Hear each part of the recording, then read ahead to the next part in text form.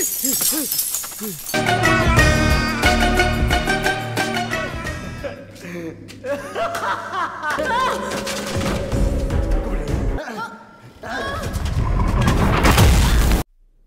sahabat, Assalamualaikum. Semoga sehat selalu dan senantiasa berbahagia. Terima kasih udah subscribe dan menyimak video-video SLMT TV. Semoga Tuhan Yang Maha Esa selalu memberikan rezeki yang berkah dan berlimpah ruah untuk sahabat semua. Nah, kali ini SLMT TV akan membawakan alur cerita film yang berjudul Dora.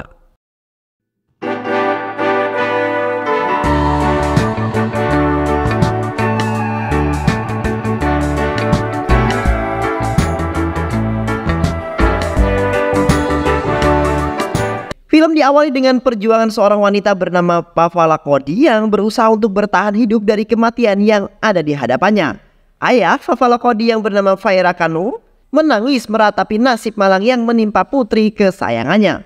Film kemudian bergeser pada kejadian beberapa bulan kemudian. Faira Kanu adalah orang tua tinggal yang membesarkan Pavala Kodi dari kecil. Mereka tinggal di rumah yang sederhana, setiap harinya Kanu selalu berjuang dengan sangat keras untuk menghidupi putri kesayangannya itu. Bahkan segala permintaan Papa selalu dipenuhi oleh Kanu. Kanu melakukan hal itu karena takut pada Papa yang merupakan orang yang sangat temperamen. Papa selalu memarahi Kanu setiap kali dia merasa terganggu. Walaupun sifat Papa yang begitu, tapi dari lubuk hati yang terdalam, Kanu tetap menyayangi Papa. Suatu ketika Kanu meminta Papa untuk segera menikah. Karena diketahui umur Papa memang sudah terbilang cukup untuk menikah. Kanu merayu Papa untuk berdoa di sebuah kuil milik keluarganya, berharap doa itu akan dikabulkan dan Papa bisa segera bertemu dengan jodoh tercintanya. Tapi usulan Kanu itu ditolak. Papa hanya ingin hidup bersama sang ayah sambil merawatnya. Penolakan Papa itu membuat Kanu sangat sedih. Papa yang tak tega melihat kesedihan ayahnya itu kemudian berubah pikiran. Dia akan menuruti permintaan sang ayah Singkat cerita, Kanu dan Papa kemudian pergi ke rumah bibinya untuk meminjam sebuah mobil. Diketahui, bibi Papa adalah pemilik perusahaan taksi online yang beroperasi di wilayah tersebut.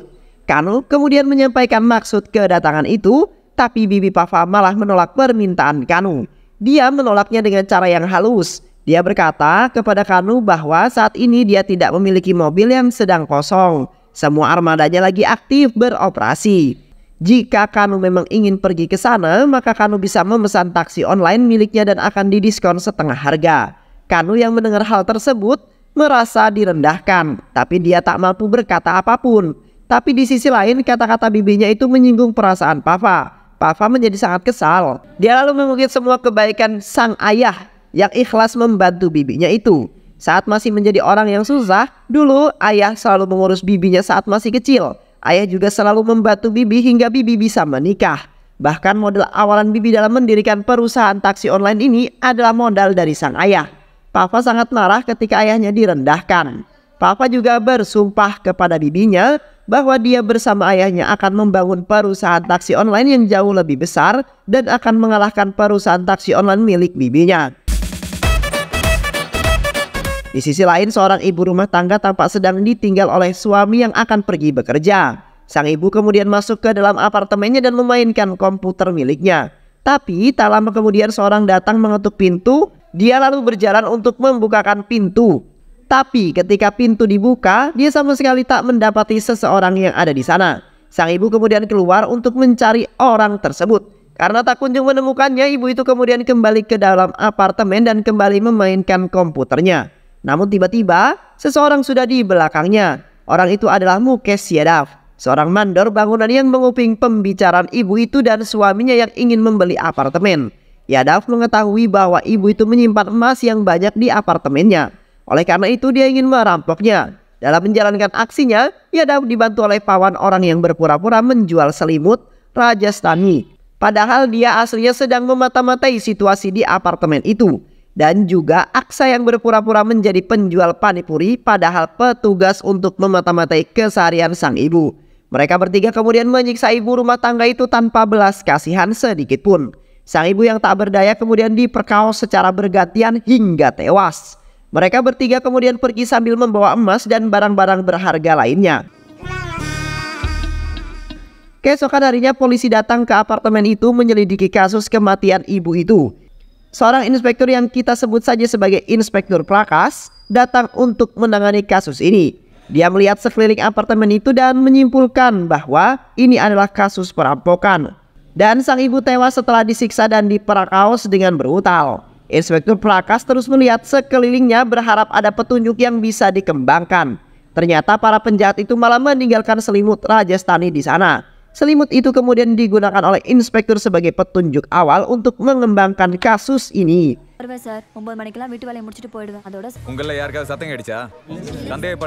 Sementara itu Papa dan juga Kanu ayahnya terus mencari semua uang tabungan yang mereka miliki. Setelah semuanya terkumpul, Papa kemudian menggunakan uang itu untuk membeli mobil. Mereka pergi ke sebuah showroom, tapi baru saja sampai tiba-tiba jantung Papa berdetak dengan sangat kencang. Hal itu membuat Papa menjadi sangat pusing. Kanu yang mengkhawatirkan kondisi Papa berniat untuk mengajak Papa pulang terlebih dahulu. Tapi beruntung pusing itu tak berlangsung lama. Papa kembali melanjutkan urusannya. Papa bersama Kanu sedang melihat-lihat mobil yang mana akan yang mereka beli. Banyak model-model modern yang ada di sana. Tapi entah mengapa Papa justru tertarik dan membeli sebuah mobil klasik yang ada di sana. Kanu sempat protes, tapi Papa sama sekali tak memperdulikannya. Di malam hari, mobil itu sempat memperlihatkan keanehannya. Anjing-anjing yang menyadari keanehan itu kemudian bergonggong dan membuat Papa terbangun. Papa mengecek kondisi mobilnya tapi dia sama sekali tak menemukan keanehan di sana. Papa menganggap keanehan itu ditimbulkan oleh seekor kucing Keesokan harinya mobil sudah siap untuk menjalankan tugasnya. Papa dan Kanu sedang deg-degan menunggu penelpon pertama dan benar saja tak lama kemudian telepon itu berbunyi. Papa dan juga Kanu ayahnya saling berebut untuk menjawab panggilan itu. Papa berhasil mengangkatnya, bukannya minta diantarkan ke suatu tempat. Penelpon itu justru ingin menyewa mobil untuk mengantar sebuah jenazah. Papa tentu saja kesal. Dia langsung memarahi penelpon itu dan mengakhiri teleponnya. Mereka terus menunggu panggilan yang kedua. Setelah menunggu cukup lama, panggilan kedua pun akhirnya masuk. Orang itu meminta papa untuk mengantarkan ke bandara. Dan setelah ketemuan ternyata orang itu adalah Kanu, ayahnya papa yang menyamar sebagai seorang pilot. Di sisi lain, Inspektur Prakas terus pergi ke berbagai tempat untuk mencari informasi mengenai kasus tersebut. Hingga pada akhirnya, dia menyadari ada sebuah warung yang menjual selimut Rajastani. Inspektur Plaka selalu menginterogasi pemilik warung tersebut. Dia menanyakan dari mana pemilik warung bisa mendapatkan selimut itu. Pemilik warung kemudian mengatakan bahwa selimut itu didapatkan dari sepeda yang ada di gang depan warungnya. Di sepeda itu terdapat banyak selimut Rajastani. Tapi karena si pemilik sepeda itu tak kunjung datang, dia akhirnya mencuri beberapa selimut itu.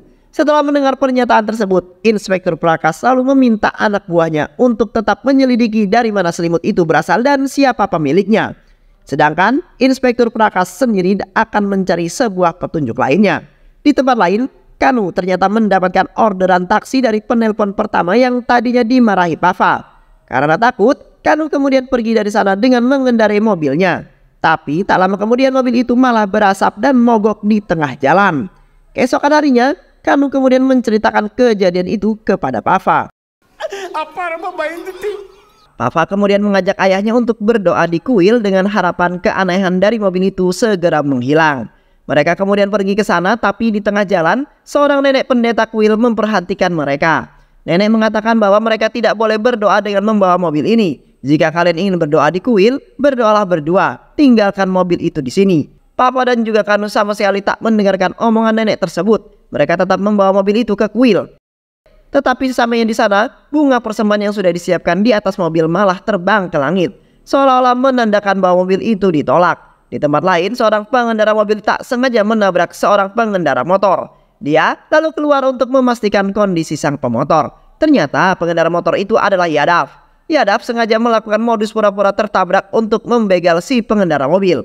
Terlihat Pawan dan Aksa juga ada di sana. Usut punya usut, pengendara mobil itu ternyata adalah seorang kontraktor bangunan. Yadap kembali menguping isi pembicaraan kontraktor itu dengan kliennya. Itulah awal dari Yadap melakukan pembegalan ini. Di sisi lain, anak buah Inspektur Prakas yang ditugaskan untuk menyelidiki selimut Rajastani sudah mendapatkan sebuah petunjuk. Dia lalu mengetahui siapa pemilik selimut Rajastani itu. Dia memperlihatkan foto pemilik itu dan ternyata itu adalah fotonya Pawan. Inspektur Prakas akan bergerak untuk memburu Pawan.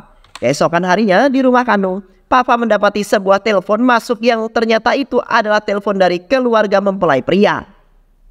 Kanu menjodohkan Papa secara diam-diam. Papa mengetahui hal itu tentu saja marah. Tapi amarahnya menghilang ketika Kanu mengatakan bahwa dia ingin menyaksikan putri semata wayangnya menikah sebelum dirinya meninggoy. Papa seketika menuruti permintaan ayahnya itu. Dia akan menikah dengan syarat suaminya nanti harus tinggal di rumah ini dan mau merawat ayahnya. Singkat cerita, keluarga sang mempelai pria pun datang ke rumah Papa. Ternyata mereka adalah keluarga dari Inspektur Prakas. Ibu Prakas sangat terpesona dengan kecantikan dan keanggunan Papa. Dia lalu menghubungi Prakas untuk bisa segera datang menemui calon istrinya. Prakas yang sedang menjalankan tugasnya kemudian datang memenuhi panggilan ibunya. Sesampainya di sana, Prakas malah langsung memarahi Papa dengan mengatakan bahwa Papa adalah wanita kapuan yang tak pantas bersanding dengannya. Papa yang mendengar kata-kata itu tentu saja marah. Dia langsung membanting wadah yang ada di tangannya. Kemarahan Papa itu membuat keluarga Inspektur Prakas pergi dari sana. Beberapa hari kemudian, Papa mendapati sebuah telepon masuk. Ternyata sang penelpon memberikan pesanan kepada Papa agar dirinya bisa diantar ke Tilupati selama 20 hari. Papa kemudian menyewa seorang sopir yang akan menggantikan peran sang ayah. Sopir itu adalah pria bernama Anan. Saat Anan ingin pergi, dia meminta kunci mobilnya kepada Papa. Tapi ternyata kunci itu hilang dari tempatnya. Papa terus mencari kunci tersebut karena tak kunjung menemukannya. Papa kemudian memanggil seorang ahli duplikat kunci untuk segera menduplikat kunci mobilnya. Tapi orang tersebut gagal menduplikat kunci mobil Papa. Papa mulai panik, tapi tak lama kemudian Kanu menyerahkan kunci mobil yang telah disembunyikannya itu. Anan lalu mencoba untuk mengendarai mobil itu. Meski sudah dinyalakan dan gigi sudah dimasukkan, tapi mobil itu tak kunjung jalan ke depan. Tapi ketika papa menyentuhnya, mobil itu tiba-tiba bisa melaju ke depan. Anan kemudian mengantar kliennya itu ke lokasi yang diinginkan. Awalnya Anan memang menguasai jalan mobil itu, tapi tak lama kemudian Anan kehilangan kendali atas mobilnya. Mobil itu bergerak dengan sendiri mengikuti sebuah sepeda yang sedang lewat. Ternyata orang yang sedang naik sepeda itu adalah Pawan. Salah satu dari tiga orang pelaku pembunuhan kejam terhadap dua orang beberapa waktu yang lalu. Mobil itu mengikuti Pawan dengan terburu-buru hingga membuat Anan dan kliennya menjadi sangat ketakutan. Tapi tak lama kemudian Pawan telah menghilang dan mobil itu kehilangan jejak. Mobil itu terus berkeliling mencari keberadaan Pawan hingga pada akhirnya dia berhenti mendadak dan hampir terlibat kecelakaan. Anan yang sudah tak sanggup lagi mengemudikan mobil itu kemudian menghubungi Papa dan menceritakan semuanya. Anan dan kliennya pergi dari sana dan Papa diminta mengambil mobilnya sendiri. Papa kemudian datang ke lokasi mobil itu dan benar saja mobil itu masih dalam keadaan menyala. Papa kemudian mengendarai mobil itu untuk dibawa pulang. Tapi di tengah jalan, dia kehilangan kendali atas mobilnya. Mobilnya bergerak sendiri ketika dia melihat Pawan. Mobil itu terus mengikuti ke mana pun Pawan pergi. Pawan yang menyadari bahwa dirinya diikuti, berusaha untuk lari menyelamatkan diri. Hingga sampai di sebuah terowongan. Papa yang mencoba mengambil alih langsung diikat. Papa kemudian melihat bayangan mobilnya yang ditembok sebagai seekor anjing. Bayangan anjing itu terus menggigit Pawan hingga tewas. Bahkan darah Pawan pun sampai muncul ke kaca mobil tersebut.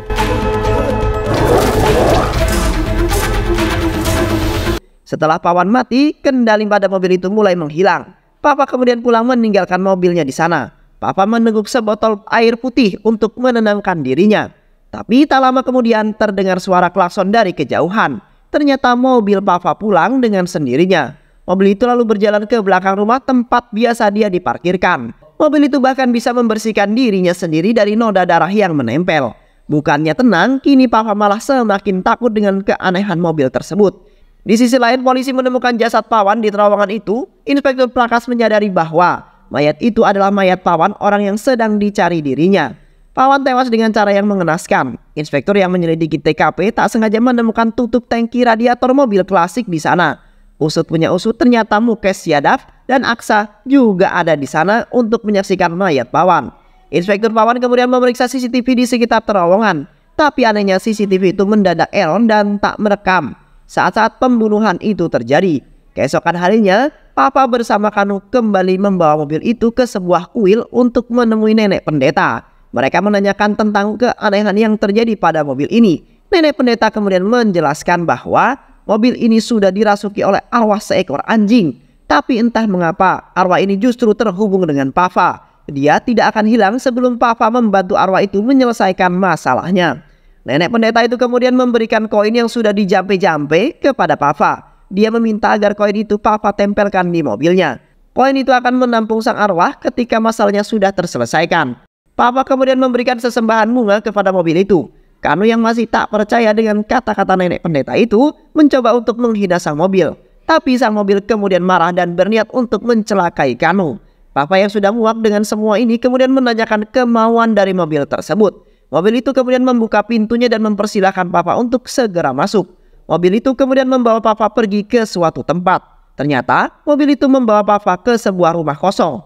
Dan di saat Papa turun dari mobil tersebut, dia melihat seorang kakek yang bereaksi seolah-olah mengenali Papa dan juga mobilnya. Papa kemudian bertanya, apakah sang kakek mengenali dirinya dan mobil itu? Tentu saja, tentu saja aku mengenali kalian. Kakek itu kemudian menceritakan kepada Papa tentang kisah seekor anjing yang bernama Dora. Dora adalah seekor anjing yang ditemukan oleh cucunya yang bernama Arti. Kala itu, Dora adalah seekor anjing kecil. Arti menemukan Dora yang sedang terbaring tak berdaya di pinggir jalan. Arti kemudian merawat Dora hingga tumbuh besar. Mereka selalu menghabiskan waktu bersama. Dora menyayangi Arti seperti Arti menyayangi Dora. Ketika Arti sakit, maka Dora juga pasti akan sakit. Ke mana pun Arti pergi, maka Dora pasti selalu ada bersama dirinya. Suatu malam kakek, Arti dan juga Dora sedang pergi mengendarai mobil klasik miliknya. Tapi di tengah jalan, mobil mereka dihentikan paksa oleh tiga orang pria yang ternyata adalah Mukes, Yadav, dan Pawan. Dan juga Aksa. Mereka bertiga merampok semua perhiasan dan barang-barang berharga milik kakek. Saat mereka akan pergi, salah satu dari tiga orang itu ternyata sange melihat kemulusan pahanya Arti. Mereka lalu menyiksa kakek. Kakek ditarik keluar dari dalam mobil dan dimasukkan ke dalam bagasi. Sedangkan Dora yang melawan, mereka lempar hingga membentur sebuah pohon. Salah satu dari mereka kemudian menangkap Arti dan memperkaosnya. Mereka saling bergantian memperkaos Arti secara brutal. Sementara itu Dora berhasil mengikuti mereka, walaupun dia harus berlari dengan kaki yang depannya sedang terluka. Ketika sudah merasa puas, mereka kemudian meninggalkan mobil tersebut. Mereka lari terpirit-pirit setelah mendengar sirine mobil polisi. Sementara itu Papa yang kebetulan sedang lewat di sana merasa curiga dan ada yang tidak beres dengan mobil tersebut. Papa kemudian menghentikan salah satu dari mereka yang mencoba kabur melarikan diri. Dan ternyata orang itu adalah Mukes Yadav. Mukes Yadav marah ketika Papa berani menghentikan dirinya. Dia kemudian mengambil sebuah patok yang tertancap di tanah dan memukulkan patok tersebut di posisi jantung Papa. Yang membuat Papa seketika terjatuh dan tak sadarkan diri. Di rumah sakit, dokter mengatakan bahwa luka serius yang dialami oleh Arti menimbulkan trauma yang sangat mendalam. Trauma itu membuat otak Arti menjadi tidak berfungsi alias mati. Dokter kemudian menanyakan agar jantung Arti didonorkan saja kepada wanita kritis yang ada di sana. Ternyata Pava berada di rumah sakit yang sama dengan Arti. Akibat dari pukulan patok tersebut membuat jantung Pava menjadi sobek dan terluka. Kakek Arti yang mendengarkan penjelasan dari dokter kemudian menyetujui agar jantung Arti didonorkan kepada Papa. Kakek dan Kanu ayah Papa hanya bisa duduk lesu, tak berdaya. Kanu berharap-harap cemas menanti kabar baik dari dokter. Tak lama kemudian, Dora juga datang ke rumah sakit tersebut. Kini, dokter sedang melakukan operasi transplantasi jantung Arti ke dalam tubuh Papa. Harap-harap cemas terlihat dari raut wajah Kanu. Setelah menunggu beberapa waktu, kabar baik pun datang ke telinga Kanu. Dokter menyampaikan operasi telah berhasil dilakukan dan saat itu Papa sedang dalam kondisi yang baik-baik saja. Walaupun begitu, dokter tetap berpesan kepada Kanu untuk tidak membuat Papa marah dan terganggu. Karena dokter takut hal-hal itu membahayakan jantung Papa dan bisa mengancam keselamatannya. Sementara itu, Kanu ternyata sama sekali tidak mengetahui siapa yang telah mendonorkan jantung itu. Dia bertanya kepada dokter tapi dokter merahasiakannya. Kakek sengaja tak menulis laporannya karena dia tak ingin apa yang menimpa cucunya itu malah menjadi topik hangat bagi media dan menjadi konsumsi publik. Beberapa hari kemudian, jasad Arti sudah dikuburkan. Dora hanya bisa menangis di makam Arti. Semua kenangan yang bersama Arti selalu terbayang di ingatan Dora, termasuk momen-momen bahagia bersama Arti saat sedang di dalam mobil. Dora lalu berada di dalam mobil itu hingga akhirnya mati karena kelaparan. Arwah Dora masuk ke dalam mobil tersebut. Di sisi lain, kakek yang tak ingin kenangan buruk itu selalu ada di benaknya, kemudian memutuskan untuk menjual mobil klasik miliknya itu. Di sisi lain, roh Dora percaya semenjak jantung Arti berada dalam tubuh Papa, maka Arti selalu hidup di dirinya Papa. Itulah mengapa Dora memanfaatkan Papa yang ada di dalam ada jiwa Arti untuk bersama-sama membalaskan dendam kematian Arti. Papa yang mendengarkan kisah tersebut hanya bisa menangis. Air matanya jatuh ke kaca mobil dan membuat Dora menghapus air matanya saat itu juga. Papa kemudian menceritakan kisah ini kepada kamu ayahnya. yang membuat Kanu juga ikut menangis. Di tempat lain, Inspektur Prakas sudah memiliki alamat pemilik tutup mobil radiator itu. Dia kemudian pergi ke rumah Papa dan diam-diam menyelinap masuk. Inspektur menyamakan tutup radiator itu ke mobilnya. Dia juga menyamakan jejak ban yang sudah difotonya karena merasa yakin bahwa Papa adalah pelakunya. Inspektur Prakas kemudian menggeret paksa Papa ke kantor polisi. Inspektur memaksa Papa untuk mengakui perbuatannya. Dia melakukan Papa dengan sangat kasar yang membuat Papa hanya bisa terus menangis. Tangisan Papa itu ternyata membuat atasan Inspektur Prakas datang. Dia menanyakan kepada Papa mengapa dia terus menangis. Papa kemudian menjelaskan bahwa Inspektur Prakas tiba-tiba saja menggeretku ke kantor polisi secara paksa. Dia juga memaksaku mengakui pembunuhan yang sama sekali tidak pernah kulakukan. Dia hanya bisa berasumsi bahwa aku adalah pelaku pembunuhan cuma berdasarkan dari tutup mobil radiator dan jejak ban yang ada di fotonya. Dia tidak memiliki bukti yang kuat, apalagi jejak ban yang ada di fotonya itu berbeda dengan ban mobil yang kugunakan. Atasan Inspektur Prakas tentu saja marah mendengar hal tersebut. Tapi di tengah-tengah momen marahnya itu, Papa tiba-tiba berhenti menangis dan mengatakan kepada Inspektur Prakas bahwa dia adalah pelaku pembunuhannya. Papa kemudian kembali menangis untuk mencari simpati dari atasan Prakas. Dia juga mengancam akan melaporkan hal tindakan semena-menanya ke polisi ini kepada awak media. Atasan yang mulai panik akhirnya membebaskan Papa dari kantor polisi. Tapi sebelum pergi Papa berbisik pada Inspektur Prakas bahwa dia akan segera menghabisi dua pelaku yang tersisa. Hentikan aku jika kamu memang bisa melakukannya. Ujar Papa pergi dari sana. Papa terus memikirkan bagaimana cara dia bisa menemukan kedua pelaku yang tersisa. Setelah berpikir cukup lama, Papa kemudian pergi menemui Dora dan bertanya padanya. Tapi Dora tidak merespon pertanyaan Papa karena Papa lupa bahwa Dora belum dihidupkan. Papa kemudian ke dalam mobil dan bertanya kepada Dora yang sudah dinyalakan. Dora, saat aku membelimu dulu, jantungku tiba-tiba saja berdetak dengan sangat kencang. Apakah itu artinya pelaku pembunuhan juga ada di sana? Dora lalu membenarkan pernyataan papa tersebut dengan membunyikan klaksonnya. Papa kemudian menghubungi showroom tempat dia membeli mobil Dora. Papa meminta agar pihak showroom bisa memutarkan CCTV pada saat dia membeli Dora. CCTV kemudian diputar dan Dora diminta untuk menunjukkan siapa pelakunya. Saat rekaman menunjukkan seorang penjual penipuri lewat, Dora memberikan isyarat kepada Papa bahwa itu adalah pelakunya. Ternyata penjual panipuri yang lewat itu adalah Aksa.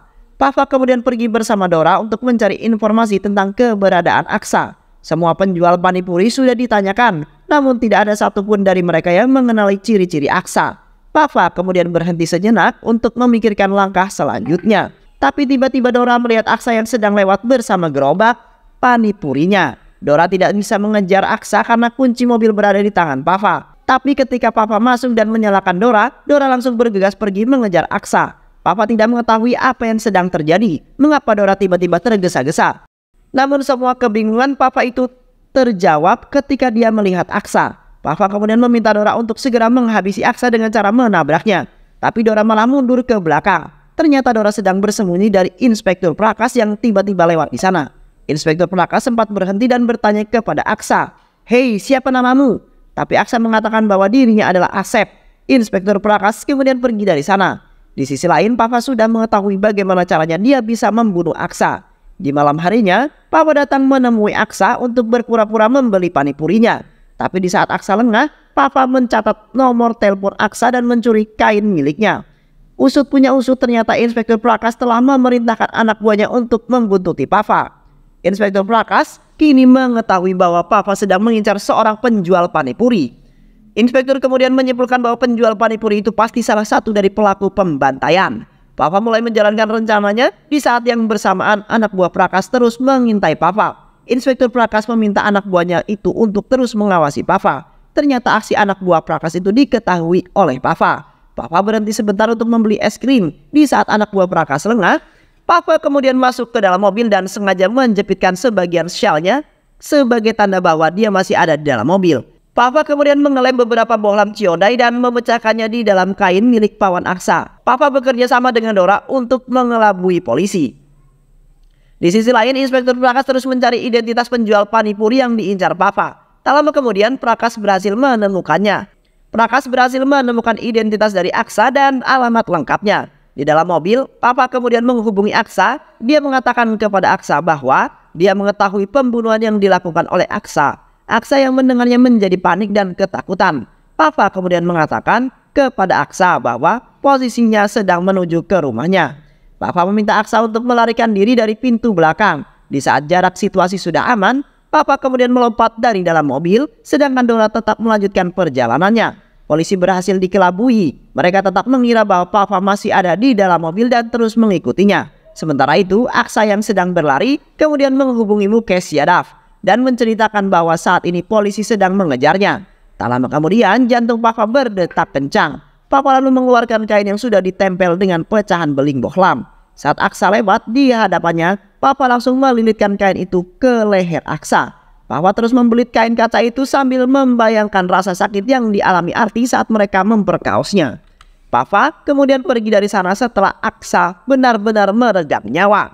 Di tempat lain, Dora ternyata terus berjalan hingga kembali ke rumah Papa. Anak buah Prakas lalu menghubungi Prakas dan melaporkan hal tersebut. Pak, kami sudah mengikuti Pava hingga sampai di rumahnya. Dia sama sekali tak berhenti di tengah jalan dan melakukan hal yang mencurigakan. Tapi di sisi lain salah satu anak buah Prakas kemudian menemukan jasad Aksa yang sudah tewas di tengah jalan. Inspektur Prakas bingung dengan apa yang terjadi. Di satu sisi anak buahnya yakin bahwa Pava sama sekali tak turun dari mobil, tapi di sisi lain anak buahnya menemukan Aksa yang sudah tewas di tengah jalan. Jika Papa bukan pelakunya, lantas siapa yang melakukan pembunuhan itu? Ujar Inspektur Prakas. Di sisi lain, Mukesh Yadav merasa sedih dengan apa yang menimpa kedua sahabatnya. Dia bersumpah akan membalas perbuatan orang yang sudah membunuh kedua sahabatnya itu. Yadav lalu pergi dari rumahnya untuk mencari orang tersebut. Di kantor polisi, Inspektur Prakas mulai terlihat sedang gelisah, cemas tentang kasus yang tengah ditanganinya ini. Dia takut dirinya gagal dalam memecahkan kasus pembunuhan ini. Tapi tak lama kemudian angin segar datang kepada Inspektur Prakas. Salah satu anak buahnya mengatakan bahwa mereka telah berhasil mengetahui identitas dan alamat pelaku yang tersisa. Inspektur Prakas kemudian pergi ke rumah Yadav. Tapi sayangnya, Yadav sudah meninggalkan rumah itu. Di sisi lain, Papa sedang mengangkat telepon dari seorang yang ternyata itu adalah Mukesh Yadav. Yadav telah mengetahui bahwa Papa adalah pelaku pembunuhan kedua sahabatnya. Yadav kemudian mengancam akan segera menghabisi nyawa ayahnya, Papa. Papa menjadi panik, dia langsung pergi ke kamar ayahnya untuk memeriksanya. Dan benar saja ternyata Kanu, sang ayah sudah tak lagi di dalam kamarnya. Papa kemudian mengambil selimut ayahnya itu dan meminta Dora untuk segera mengendus keberadaan ayahnya. Di sisi lain, ternyata obrolan Papa dan juga Yadav telah disadap oleh Inspektur Prakas. Inspektur Prakas langsung pergi mengejar mobil milik Papa. Papa yang mengetahui hal itu meminta Dora untuk melakukan sesuatu. Dora membocorkan sedikit bensinnya dan membakar jalanan tersebut. Dora berhasil menghentikan laju Inspektur Prakas. Tapi salah satu anak buah Prakas berhasil mencegat Dora. Posisi Dora kini terpojok, dirinya terkepung oleh mobil polisi. Tapi lagi dan lagi Dora tidak kehilangan akal. Dia membuat kumpulan asap dan pergi dari sana. Singkat cerita, Dora telah sampai di gedung yang masih dibangun. Gedung itu adalah tempat Yadav menyandra ayahnya Papa. Papa meminta agar Dora segera menghabisi Yadav. Tapi Yadav datang bersama Kano dan siap menghabisinya. Papa yang melihat hal itu tentu saja panik. Dia tak tahu harus melakukan apa. Dia hanya bisa menuruti perkataan Yadav. Yadav meminta Papa untuk segera keluar dan mencabut kunci mobilnya itu. Hingga Dora dapat dipastikan tidak bisa membantu Papa. Yadav lalu menendang Kanu dan menghajar Papa. Dia menghajar mereka dengan sesuka hati. Yadav kemudian mengolok-olok mobil tersebut. Dia tak percaya jika mobil itu berhantu. Yadav kemudian menjambak rambut Papa dan membetulkan kepalanya ke lampu depan mobil hingga pecah. Dia juga merusak mobil tersebut, semua kacanya dipecahkan. Badan mobil dipukul hingga penyok dan ringsek. Kebrutalan Yadav itu membuat koin yang diberikan nenek pendeta jatuh. Papa ingat bahwa dulu tukang duplikat kunci pernah menghidupkan mobilnya hanya dengan koin. Papa ingin menghidupkan Dora, tapi Yadav terlebih dahulu menarik dan menyiksanya. Siksaan itu membuat koin yang ada di tangan Papa mental masuk ke dalam mesin mobil. Saat Yadav ingin memperkaos Papa yang sudah tak berdaya, tiba-tiba saja Dora kembali hidup. Dia melempar sebuah besi kecil yang menjadi simbolnya ke lehernya Yadav. Dora kemudian menabrak Yadav hingga membuat sekarat. Dora lalu memperbaiki dirinya sendiri hingga kembali dalam kondisi mulus seperti sedia kala. Dia juga menyemprotkan air kepada Papa untuk membangunkannya. Papa yang sudah bangun lalu melihat kondisi Yadav yang sedang sekarat. Dia masih kesal dengan perbuatan Yadab. Papa kemudian masuk ke dalam mobil. Dia membayangkan rasa sakit yang Arti rasakan saat disiksa Yadav. Papa lalu meminta Dora untuk kembali menabrak Yadav. Tabrakan itu membuat kepala Yadav masuk ke dalam mobil. Dora menyiksa Yadav seperti seekor anjing yang sedang mencabik-cabik mangsanya. Yadav pun tewas di tempat. Misi Dora itu untuk membalas dendam berhasil terwujud. Dan film pun selesai.